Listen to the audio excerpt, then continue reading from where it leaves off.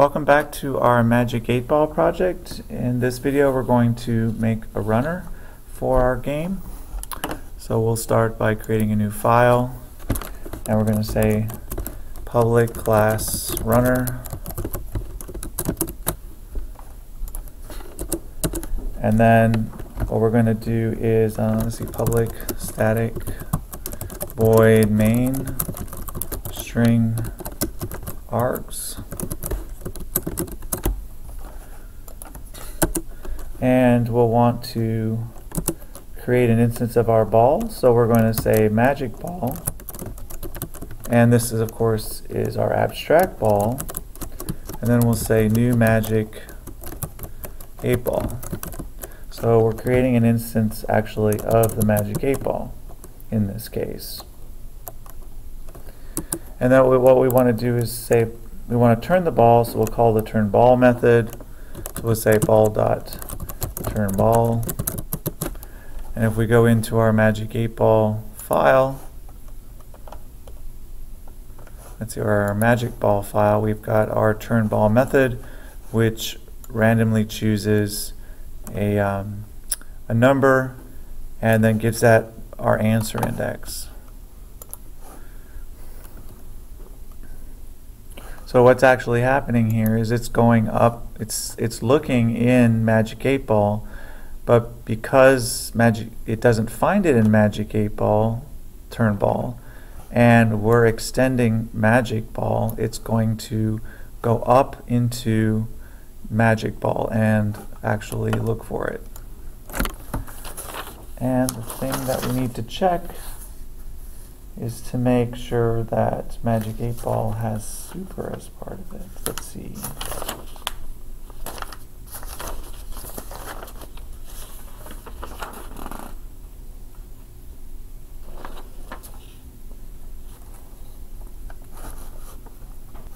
So let's go ahead in our constructor here and put super in. And then we'll compile to make sure if we actually, oh, we don't want it in the run. Let's see, we want to save the runner. That's what it's saving. And this is spelled wrong. Let's see, A-N-S.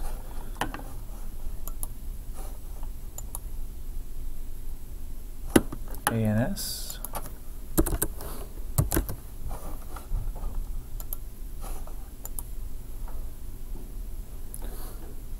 and this should be answer index.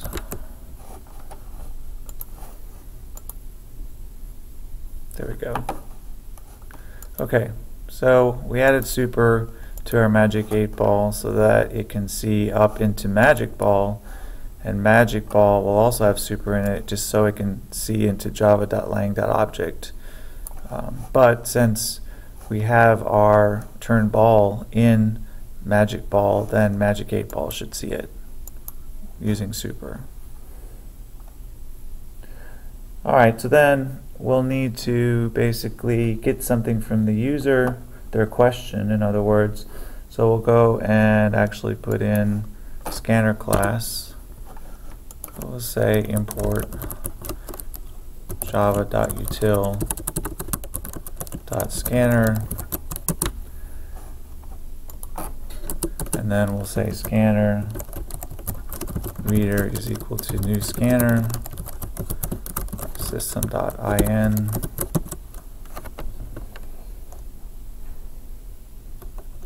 and then we can do something as simple as say system.out.println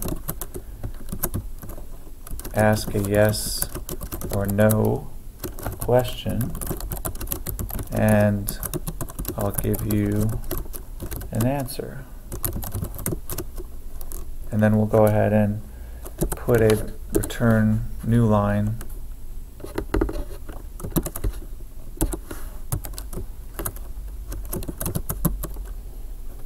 And then we'll scan in the question. So we'll say string question is um, equal to s uh, reader dot next line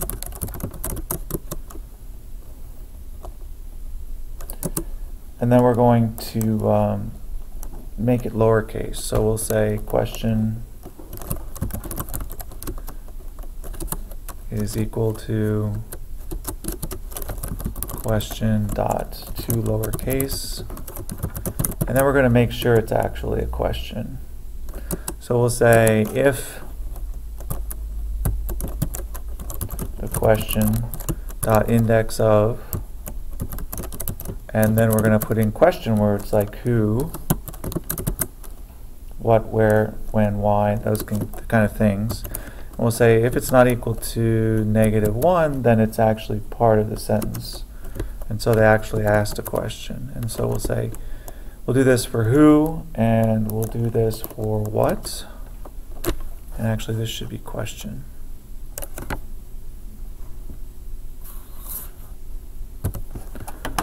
Or question dot index of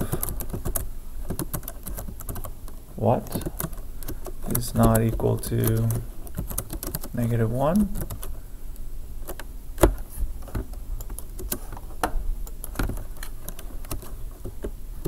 or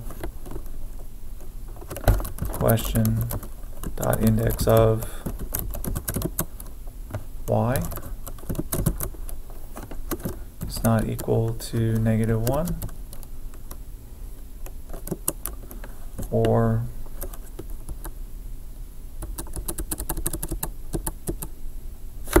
can actually put these ors on different lines. Let's see, so they're not running over each other.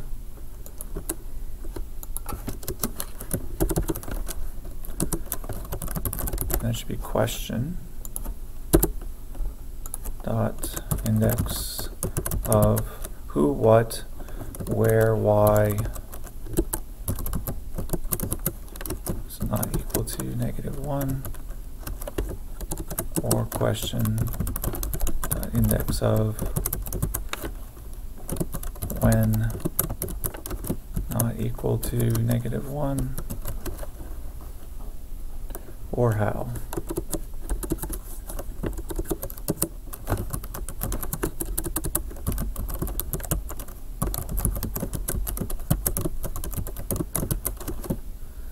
Not equal to negative 1.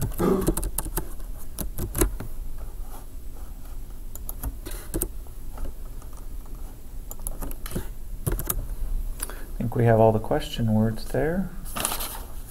Or which, actually, we need one more which.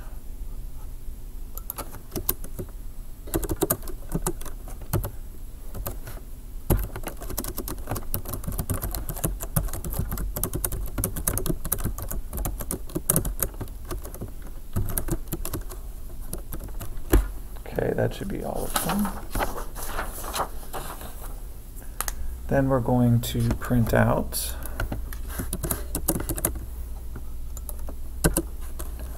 um, system dot out print ln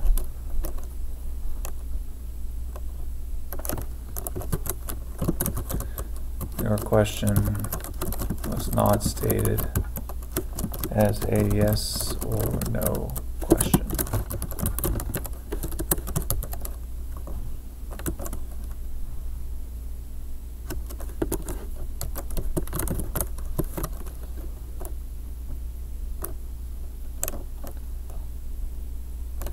And then we can say some in our else condition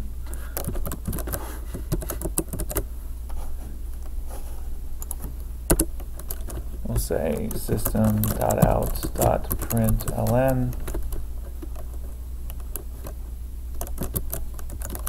ball which is um, we'll use the two string from our instance of ball and then we'll system dot out dot print ln do you want to ask another question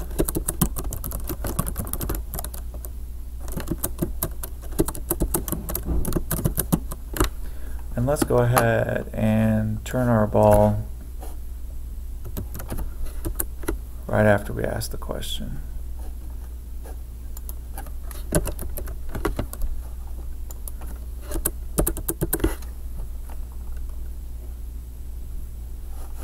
And again, we'll scan in the question and we'll put it to lowercase.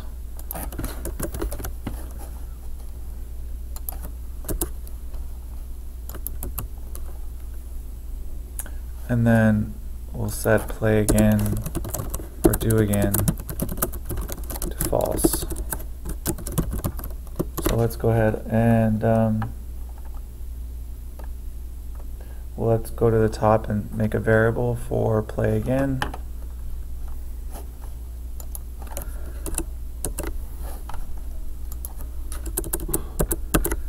So we'll say do again equal to true.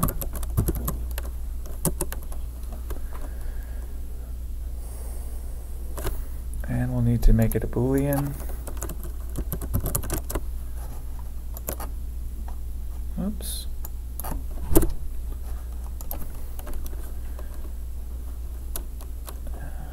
And then while do again,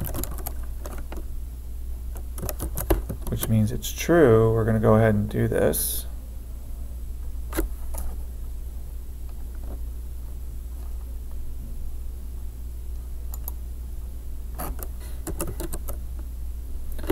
And then we need, here's going to be end of class,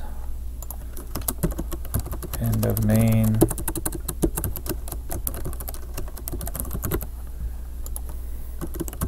end of while loop.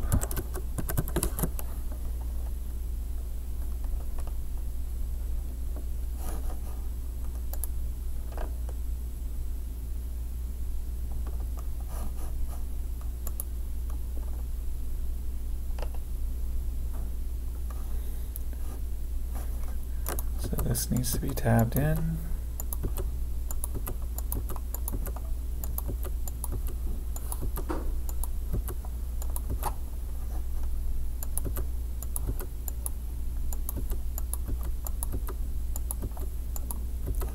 So this is the end of the conditional,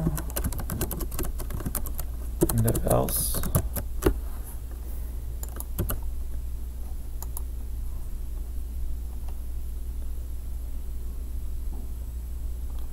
This is the end of the conditional.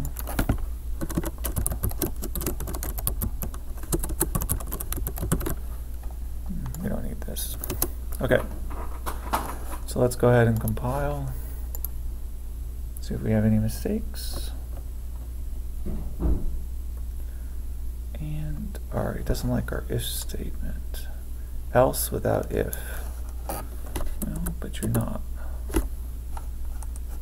Unless we forgot a curly brace down here, which we did.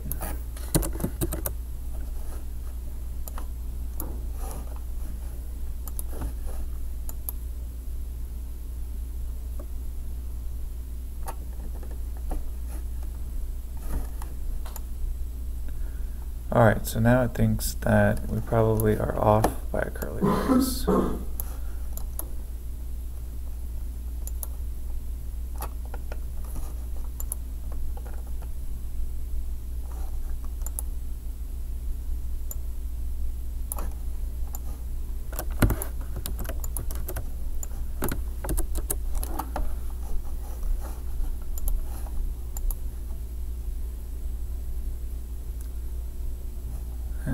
And a T.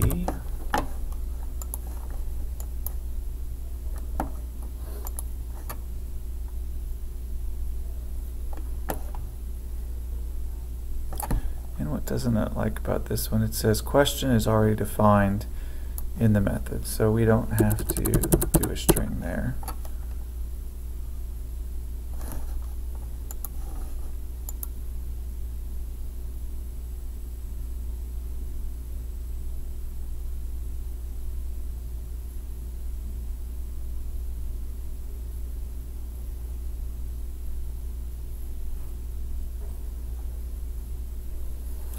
Alright, so now we should fix our error, so we can go ahead and run it. And um, how will I do at the baseball game today? And then it's saying it is decidedly so. Uh, let's see, I can ask another question and it's not bringing up text again. So we have a couple little bit of logical errors here to fix.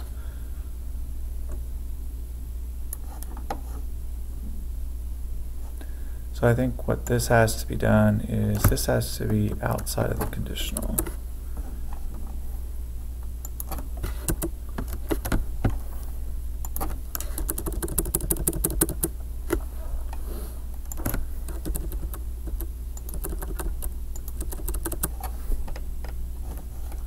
Let's try and see if that'll fix that.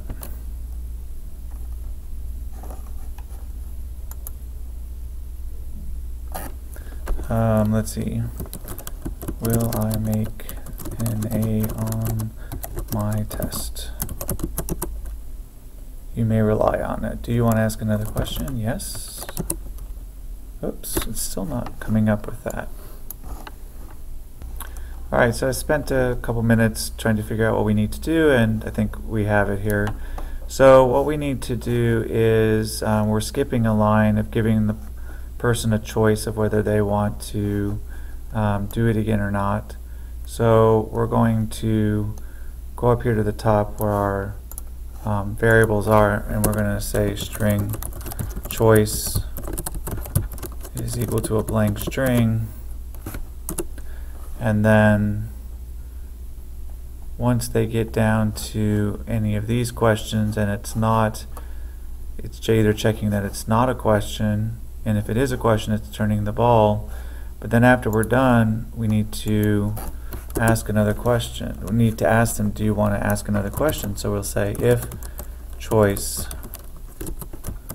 dot equals ignore case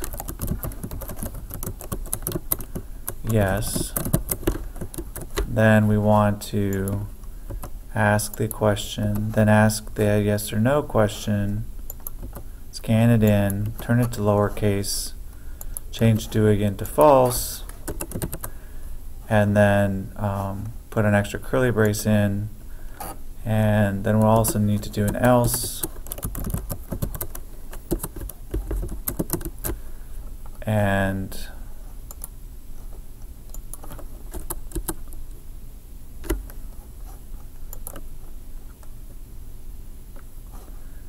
in this case, our else is going to be system.out.print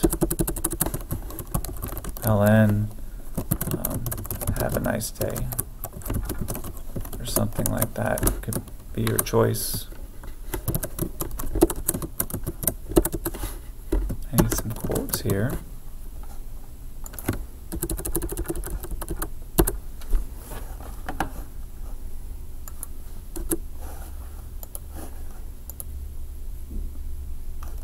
Okay, and we need another parentheses.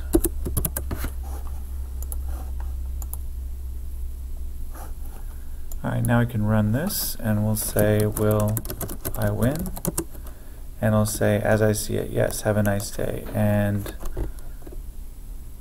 um, it's still skipping. Do you want to have another, ask another question? Um,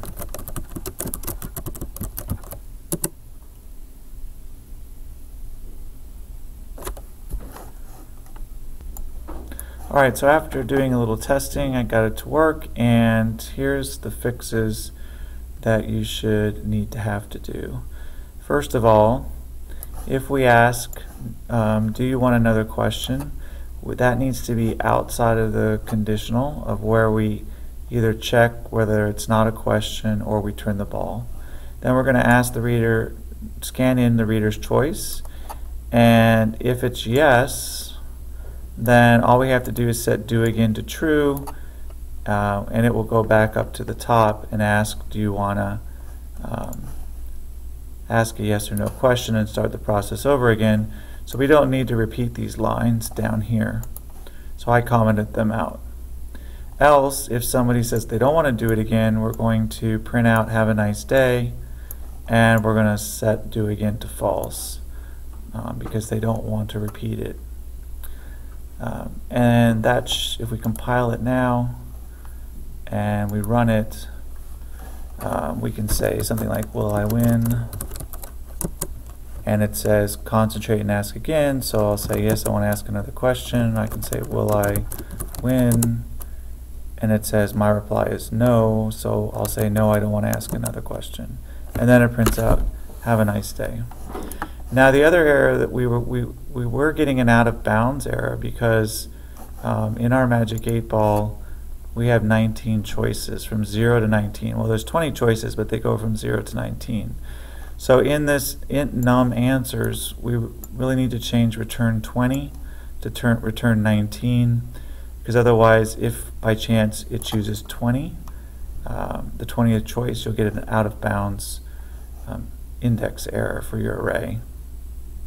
Alright, well that's it for this video and we'll see you on the next one where we're going to subclass out another type of ball and also do um, file I.O. which is we're going to input a list of answers instead of um, having them hard-coded into the array. See you next time.